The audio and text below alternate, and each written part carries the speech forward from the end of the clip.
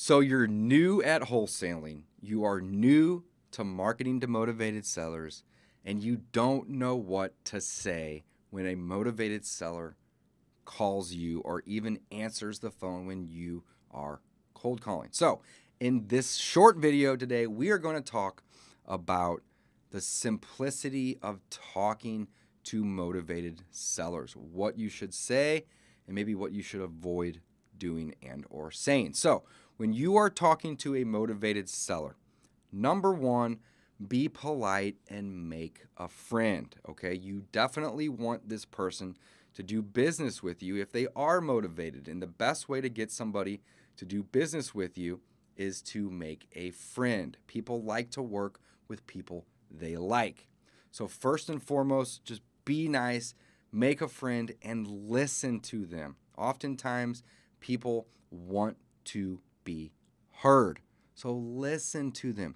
Next, what you want to do is you want to make sure you get their full name, a phone number to reach them back at, which maybe is the same number that you called or they called, maybe not. Oftentimes, they may have another number and they're calling from work. So get a good number to reach them back at. And I always try to get an email right out the gate. Some people won't do that. I do because I like sending every seller that I speak to a written offer via email. The reason is is because most people don't do that. They don't send a written offer via email, and I'll send them without even viewing the house most of the time. Reason is is I want that offer to be there. I want them to know that I am serious about buying their home. So, name, phone, email, make a friend, be polite. Next, ask them why they want to sell or why they need to sell. Typically, as a real estate investor, and uh, especially as a wholesaler, I'm looking for those who need to sell. It's not just that they want to sell, they need to sell, right? And as a wholesaler and a real estate investor, my service is providing them with a high level of convenience in exchange for a discount. That's it. It's all I'm doing. What does my convenience look like? It looks like buying as is. It looks like paying cash and closing quick. And it looks like them not having to do any extra work in fixing or cleaning the property, right? Oftentimes we'll buy properties of people that have hoarder houses or just tons of stuff in there. And part of our convenience is you don't need to clean it out. You can literally walk away from this, right? And that's what we do. We love we offer them a level of convenience that is above and beyond what they're going to get elsewhere, which typically would be through a brokerage or a realtor.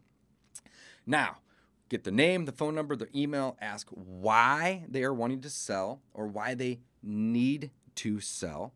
And then next ask what type of house is it? And I and I use that that word type because it doesn't really have an exact answer it's a little bit more broad. But what it'll do is it'll let them know that you're interested in the property, so describe it to you. And if they say, oh, it's a real piece of crap, well, you know that they're probably really, really motivated, right? Or they may come back with it's a ranch or it's a duplex or it's a single family, but just listen and ask for what type because they're often going to divulge a lot of information to you that will be very, very helpful. Next, Figure out how many bed and baths it has. That's very, very important. And figure out the square footage. And oftentimes, if they give me an address of the property um, right out the gate, I will type that into Zillow and I'll get an understanding just from the public data on you know how big it is and maybe when it was built. And then I'll ask them, you know, when's the last time you did any updates or did any major repairs? You know, how old is the roof? How old are the windows? You know, when was the last time the kitchen was updated. And based upon if that individual that I either called or they called me is motivated enough, that's when we decide if we want to then set an appointment, send an offer, both, or maybe just add them to our follow up. Regardless, if you have somebody on the phone, you either you have either invested time into calling that individual or you invested money into getting your marketing message out so they can call you. Either way, time or money was invested if you are on the phone. So make the most of it. Make a friend, get the information that you need about the property, and try to determine their level of motivation by asking about the property or asking why they may want and or need, my favorite word, to sell their property. Lastly, um, figure out if this is worth your time to view it. And if it is, set an appointment. Okay, go view it. If it's not worth your time, or maybe they give you an asking price that doesn't seem reasonable, what I do and my partners do is we will literally pull up a Zestimate, which I get it, guys. That's not a great way to uh, determine value of a property, but it is a good way to determine the median value of the properties in the area. And what we'll do is we'll take that and we'll cut it in half. We'll take this estimate and we'll times it by 0.5 and be 0.6. We're in the very nicest of nicest neighborhoods, 0.65, even 0.7, because again, we're not subtracting out repairs. We're just going to determine what an offer would look like. And then what we'll do is we'll make them a offer range. So instead of just saying I can pay you 60,000 for your property, I may say, well, I'm typically buying houses in this neighborhood or in this part of town in similar condition to what you have, ma'am or sir, uh, for, you know, 50 to 65,000. Am I in the ballpark? Are you willing to accept a number in that range? And if you are, great, I'm going to set an appointment and I'm going to come meet you and I'm going to bring a contract. And if they aren't, then we can kind of know that, hey, the level of motivation with this individual seller isn't there, meaning they're not really willing to trade us a discount. So, why would we want to go out of our way to provide a crazy amount of convenience to this individual? We don't. We demand a discount if we are going to provide the level of convenience that we are accustomed to doing. So, we're trading discounts for convenience, and that's really it.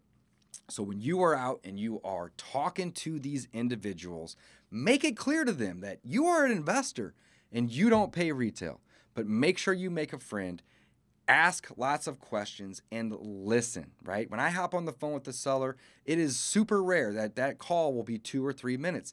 It's typically 10 to 20 minutes because I want to learn about them. I want to learn about the house and I want to listen oftentimes when you start listening and you don't interrupt and you let them talk, they're going to divulge all the information that you're going to want.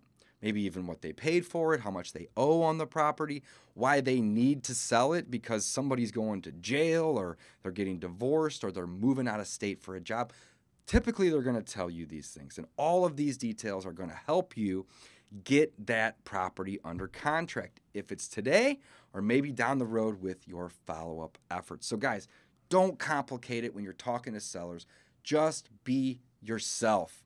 I am not a big proponent of uh, call scripts or scripts at all because it, it takes me away from me being myself and maybe asking a question that's off topic but helps build rapport. So the main things, guys, get their name, get their contact information, get the property address, try to figure out their why. Why are they selling? And if you can't figure that out, ask the when. When do they need to sell?